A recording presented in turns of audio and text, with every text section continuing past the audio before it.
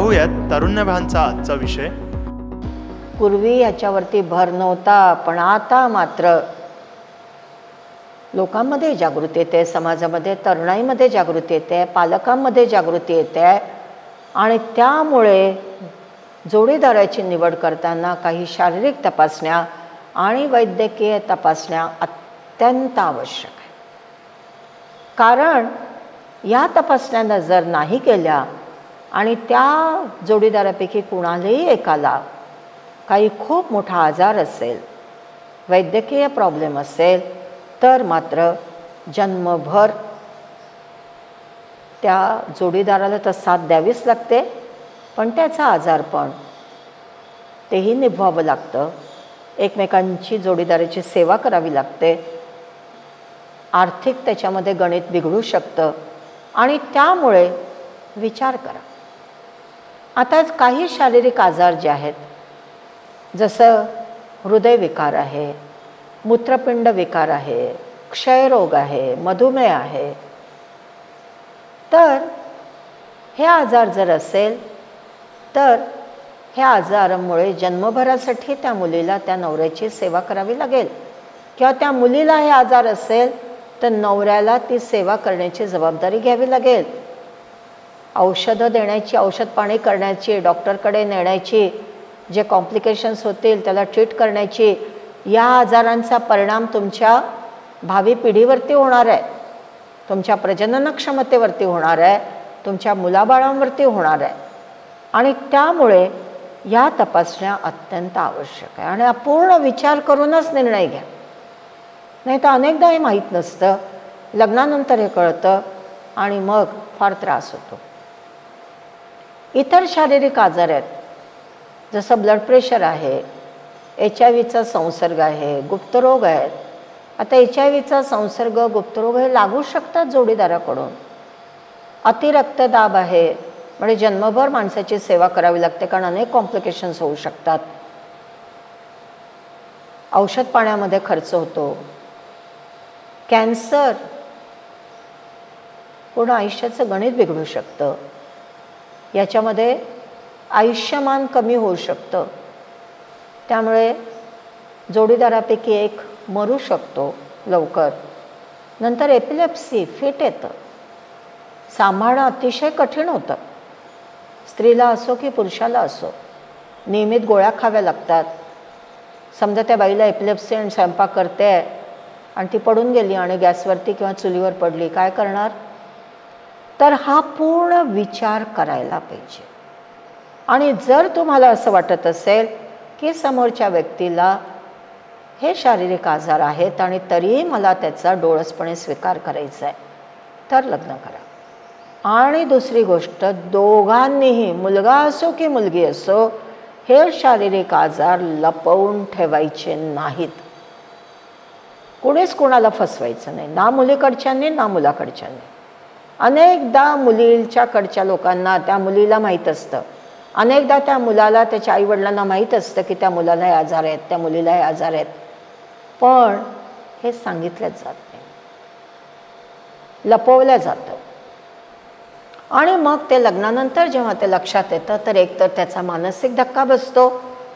त्याचा पूर्ण वैवाहिक जीवनावरती परिणाम होतो. कित्येकदा तर मुलीच्या बाबतीत असं होतं की तो नवरा मग त्या पोरीला सरळ सोडून देतो. अनेक मुलींना काही शारीरिक व्यंग असतं म्हणजे तिच्या गर्भाशयात खराबी असते. तिला जन्मजात गर्भाशयच नसतं किंवा खूप लहान असतं.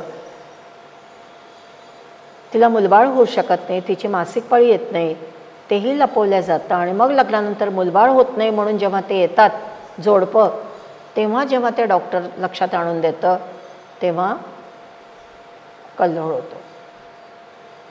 अनेक मुलींना लग्नाच्या आधी त्यांना योनी मार्गच नसतो. आणि ते सांगितलंच जात नाही आणि मग लग्न झाल्यानंतर लैंगिक संबंध होत नाही आहेत म्हणून येतात आणि लक्षात येतं की तिला योनी मार्ग नाही. अनेक पुरुषांच्या बाबतीत असं होतं की त्यांना काहीतरी लैंगिक कमजोरी असते किंवा पुष्कळदा काही पुरुषांचं जे अंडाशय असतं ते त्यांच्या वृषण पिशवीमध्ये खाली सरकलेलेच नसतात. आणि अशा पुरुषांना मग मुलबाळ होण्याची शक्यता कमी असते. पण हे अनेकदा लपवल्या जातं. आणि त्यामुळे अजिबात अशा गोष्टी लपवायच्या नाहीत. आणि पूर्ण माहिती असल्याशिवाय जोडीदाराची निवड करायची नाही. काही अनुवंशिक आजार असतात. मग आपण अनुवंशिक आजाराविषयी बोललो. शिझोफ्रेनिया हिमोफिलिया आहे किंवा हि सिकल सेल आहे थॅलेसेमिया आहे. तशाच पद्धतीचे अजून काही अनुवंशिक आजार असतात जे मुलांमध्ये उतरतात. जसं कलर ब्लाइंडनेस आहे. रंग नीट ओळखता येत नाहीत.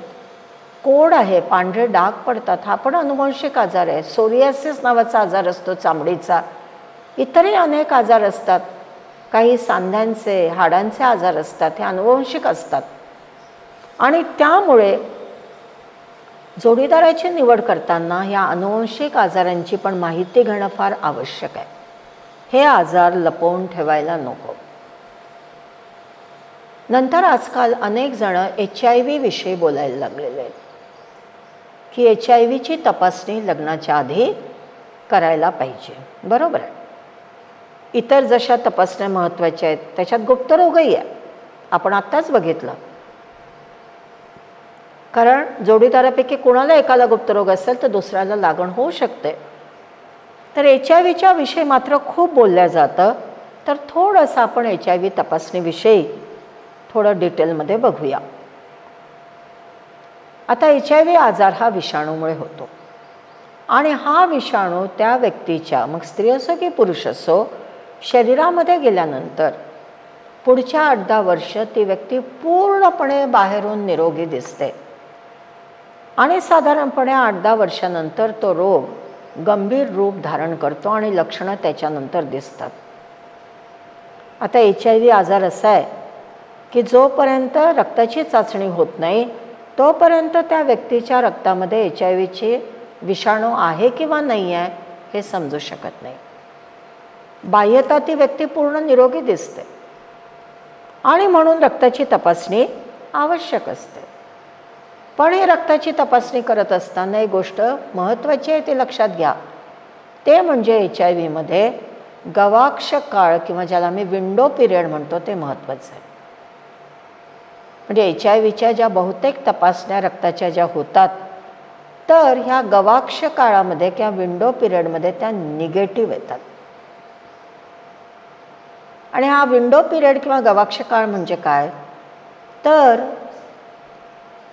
एच आय व्ही विषाणूची लागण झाल्यानंतर त्या विषाणूच्या विरोधात अँटीबॉडीज त्या व्यक्तीच्या रक्तात तयार व्हायला दीड ते तीन महिने लागतात.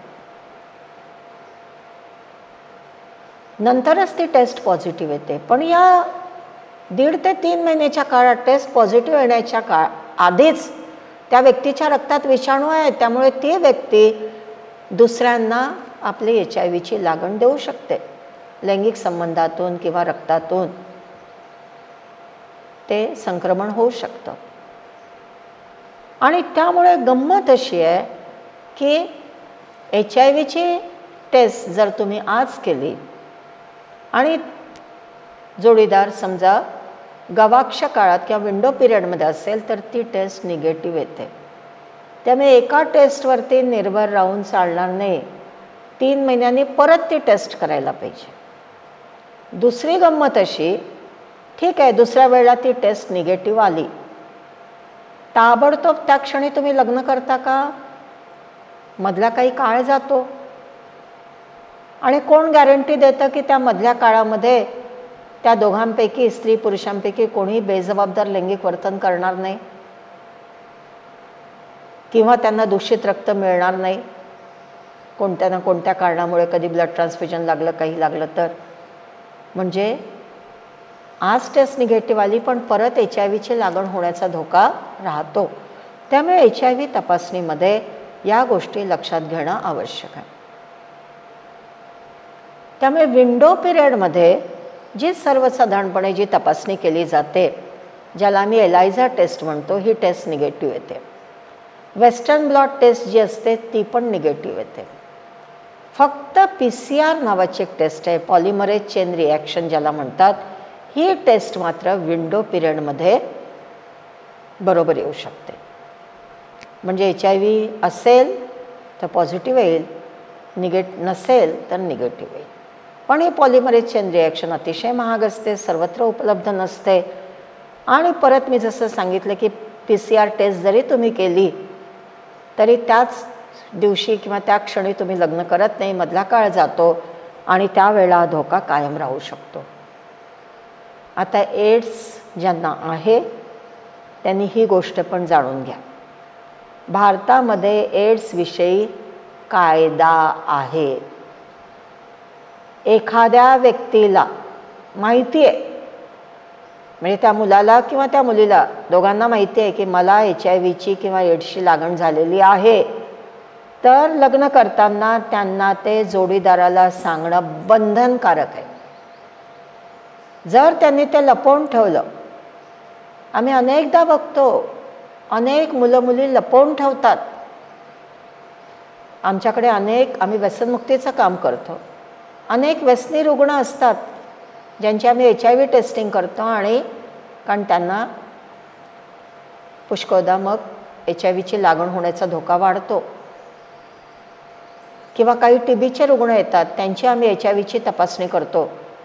ते एच आय व्ही पॉझिटिव्ह असतात आणि मग ते लग्नही करून टाकतात जोडीदाराला न सांगता. त्यांना आम्ही खरं म्हणजे समजावून सांगितलेलं असतं. पण त्या म्हणतात नाही मॅडम मी कसं सांगणार? मी सांगितलं तर माझं लग्नच होणार नाही.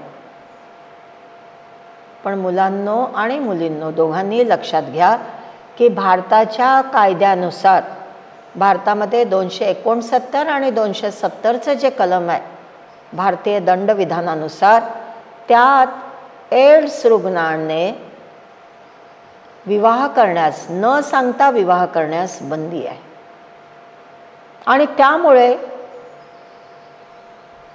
तुम्हाला जर एड्स असेल किंवा एच आय व्हीची लागण असेल आणि तुम्ही जर तुमच्या जोडीदाराला सांगितलं नाही आणि नंतर त्या जोडीदाराला कळलं तर तो तुमच्यावरती कायदेशीररित्या खटला दाखल करू शकतो. तो गुन्हा आहे.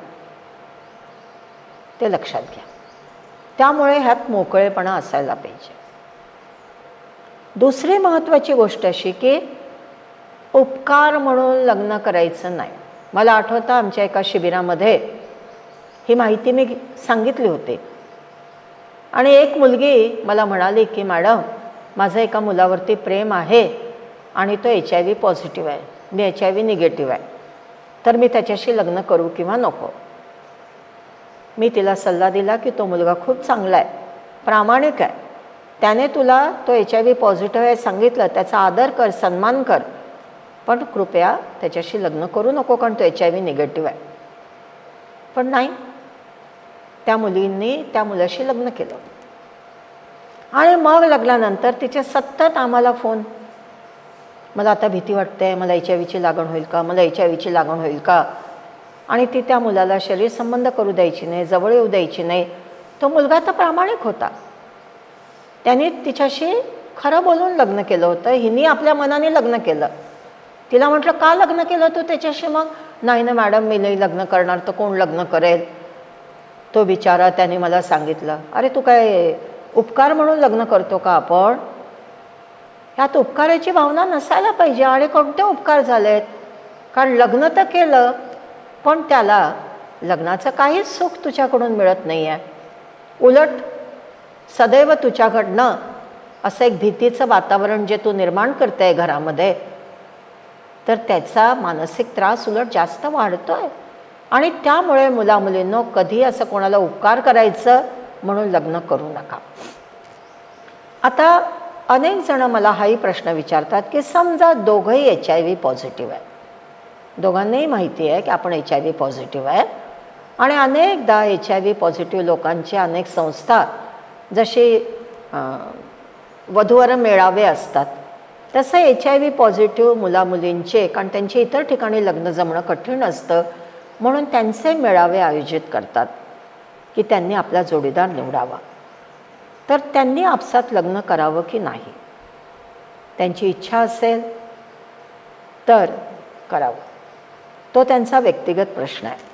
पण करताना काही गोष्टी लक्षात ठेवणं आवश्यक आहे. पहिली गोष्ट अशी की लैंगिक संबंध करताना कंडोमचा वापर केलाच पाहिजे. कारण दोघंही एच आय व्ही पॉझिटिव्ह आहेत त्यांच्यामध्ये एच आय व्हीचे विषाणू आहे त्यांच्या रक्तात. त्यामुळे लैंगिक संबंध जर तसेच केलेत तर दोघांच्याही रक्तामध्ये एच आय व्ही विषाणूंची जी संख्या आहे ज्याला आम्ही व्हायरल लोड म्हणतो ते वाढतं आणि रोगाची तीव्रता वाढू शकते. दुसरी गोष्ट अशी की एच आय व्ही विषाणू दोन प्रकारचे असतात. एच आय व्ही वन आणि एच आय व्ही टू आणि एच आय व्ही टू हा भारतात जास्त कॉमन दिसतो. दोन्ही दिसतात पण एच आय व्ही टू हा जास्त तीव्र स्वरूपाचा असतो. म्हणजे भरकन पसरतो. त्याचे दुष्परिणाम खूप लवकर दिसतात. आणि समजा ह्या दोघांनी एच आय व्ही पॉझिटिव्ह माणसांनी लग्न केलं आणि त्यातल्या एकाला एच आय व्ही वन आहे म्हणजे सौम्य व्हायरस आहे आणि दुसऱ्याला एच आय व्ही टू आहे म्हणजे जास्त खतरनाक एच आय व्हीचा प्रकार आहे.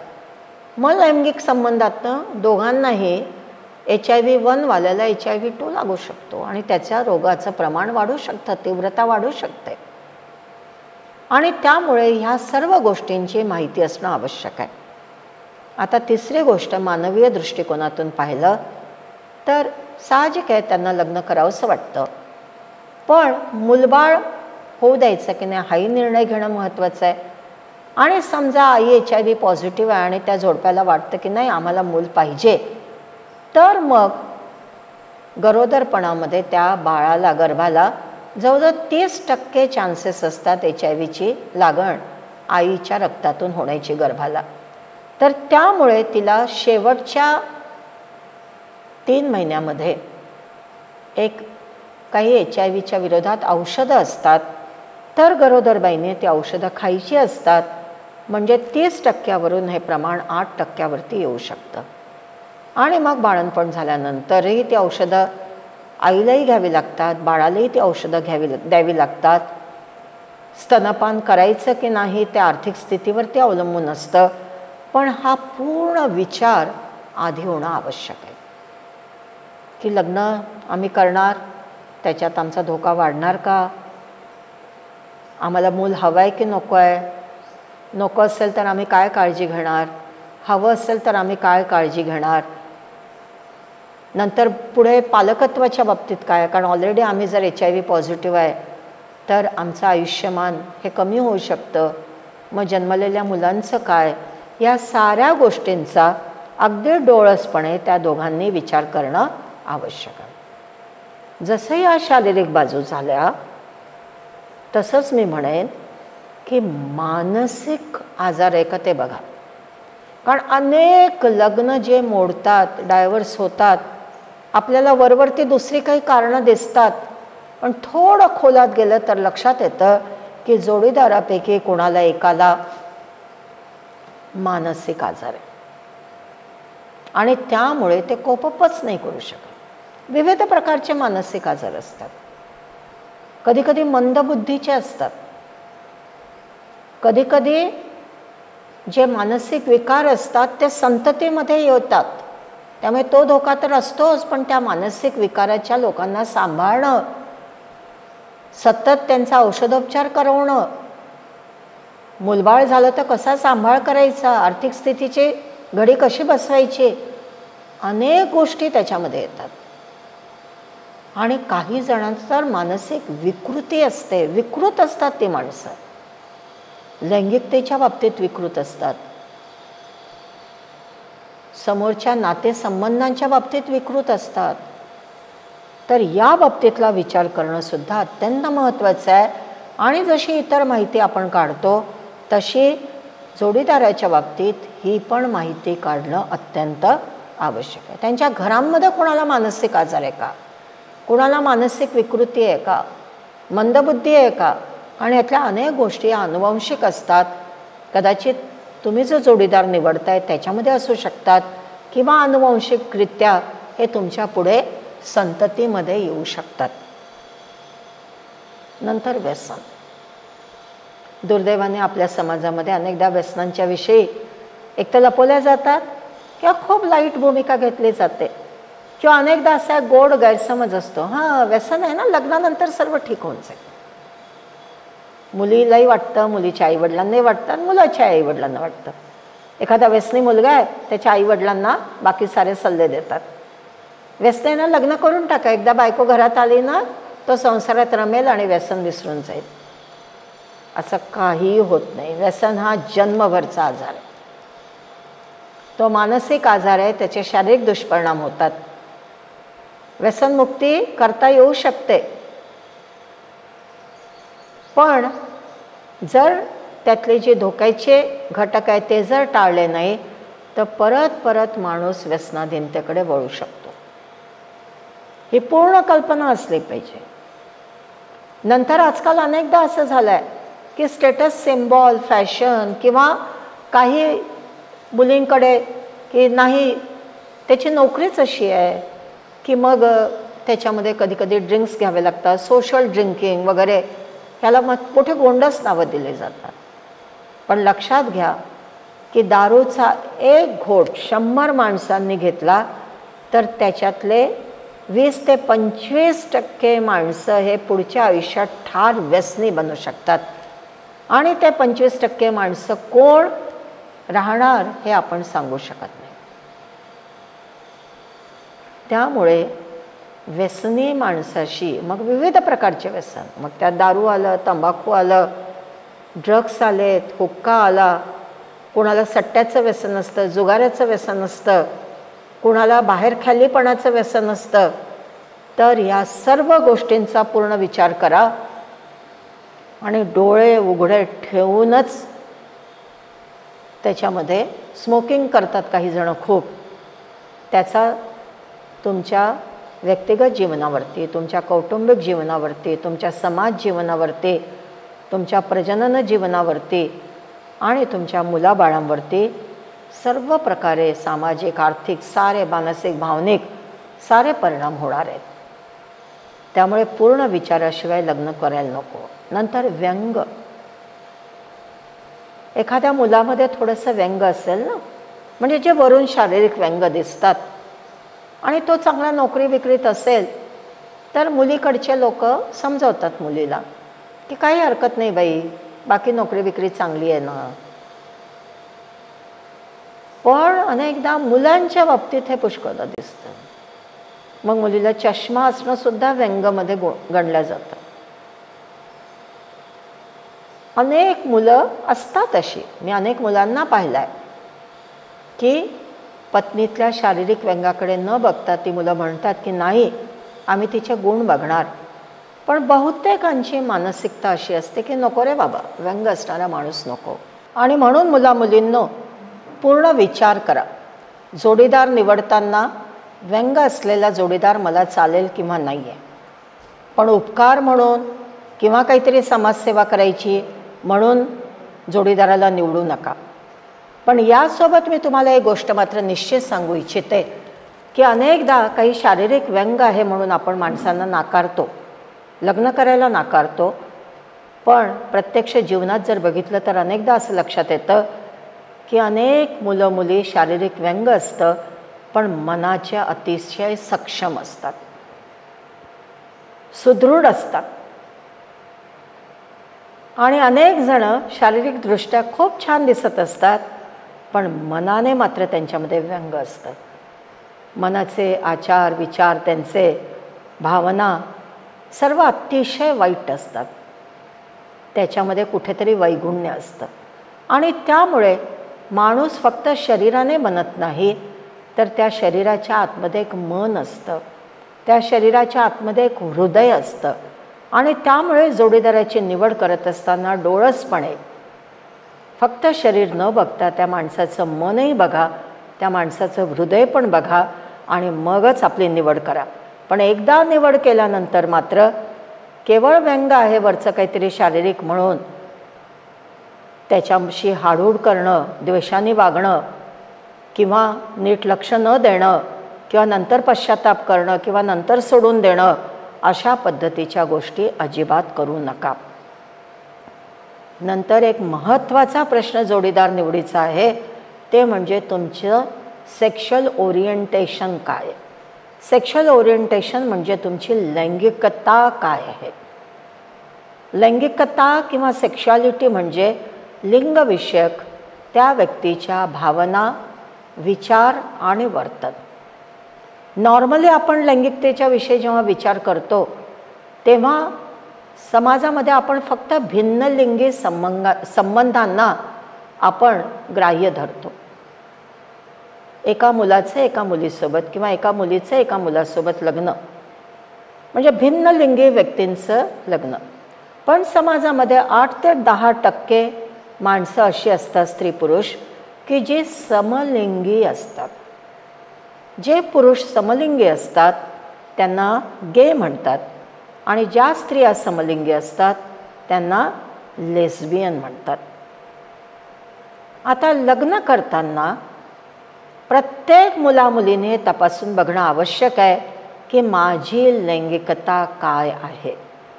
कारण समलिंगीमध्ये त्यांना जोडीदार समलिंगीच हवा असतो भिन्नलिंगी चालत नाही.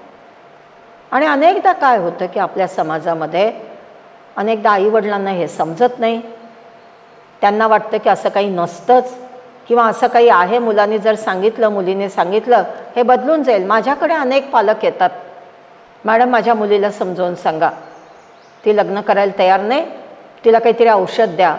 तिला समजावून सांगा. किंवा अनेक पालकांना वाटतं की लग्न झाल्यानंतर सेक्शुअल ओरिएंटेशन बदलेल. नाही. ते जैविक असतं. समलैंगिकता येण्यासाठी एक एक्स क्यू ट्वेंटी एट नावाचं एक क्रोमोझोम त्याच्यासाठी जबाबदार असतो. आणि ते असं बदल बदलत नाही. आणि त्यामुळे समलिंगी मुलामुलींना भिन्नलिंगी व्यक्तीसोबत लग्न करण्याचा आग्रह धरणं हा त्यांच्यावरती अन्याय आहे.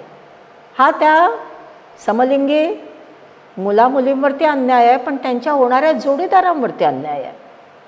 कारण त्यांचं वैवाहिक जीवन कधीच आनंदी होऊ शकणार नाही. माझ्या स्वतःच्या घरातलं उदाहरण आहे. माझ्या भाचीचं अतिशय शिकलेली हुशार मुलगी अमेरिकेत होती आणि आमच्याच नात्यामध्ये म्हणजे आमच्याच जातीमध्ये नात्यामध्ये ठरवून तिचं लग्न झालं तोही मुलगा अमेरिकेत होता. आणि लग्नानंतर तिला कळलं की तो गे होता समलिंगी होता. त्या मुलांनी खरं म्हणजे आपल्या आईवडिलांना सांगितलं होतं. पण तरीही त्यांनी जबरदस्तीने त्याचं लग्न लावून दिलं. आणि त्या मुलाची त्याच्यामध्ये गोची झाली त्या मुलीची तर अर्थात झाली. त्या मुलाला प्रचंड अपराधी वाटत होतं. पण ह्या मुलीचं आयुष्य बर्बाद झालं ना. त्यांनी लग्नानंतर त्यांचं ॲनल करवलं अमेरिकेमध्ये. पण तो जो ट्रॉमा असतो तो दोघांनाही बसला. तर त्यामुळे मी सर्व मुलामुलींना विनंती करेन की आपली लैंगिकता तपासून बघा. आणि आईवडिलांच्या किंवा इतर कोणाच्याही दबावाखाली येऊन लग्न करू नका. स्पष्ट आईवडिलांना सांगा. आणि आता समाजाला घाबरण्याची भीती नाही आहे पूर्वी आपल्या समाजामध्ये याला मान्यता नव्हती पण आता समलैंगिकतेला कायदेशीर मान्यता आहे. दोन सज्ञान प्रौढ व्यक्ती जर विचार सज्ञान व्यक्ती समलिंगी असतील तर त्यांना सोबत राहायला काहीच हरकत नाही. ही कायद्यानेच त्यांना मान्यता दिलेली आहे. आणि समलिंगी आहे म्हणून कोणाचा समाजामध्ये दुस्वास करणं किंवा त्याच्याशी वाईट वागणं किंवा त्याच्यासोबत भेदभाव करणं हे आता कायद्याने मान्य नाही आहे. आणि जे समलिंगी नाही आहेत त्यांनी लक्षात घ्या समलिंगी माणसांचं फक्त सेक्शुअल ओरिएंटेशन वेगळं आहे. कोणाला गोड आवडतं कोणाला तिखट आवडतं कोणी डावखरं असतं कोणी उजव्या हाताने लिहितो. तसंच ती माणसे आपल्यासारखीच माणसं आहेत. त्यांनाही आपल्यासारख्याच भावना आहेत मन आहे. फक्त त्यांचं सेक्शुअल ओरिएंटेशन वेगळं आहे. आणि त्यामुळे माणसाने माणसासारखं वागायचं त्यांच्यासोबत.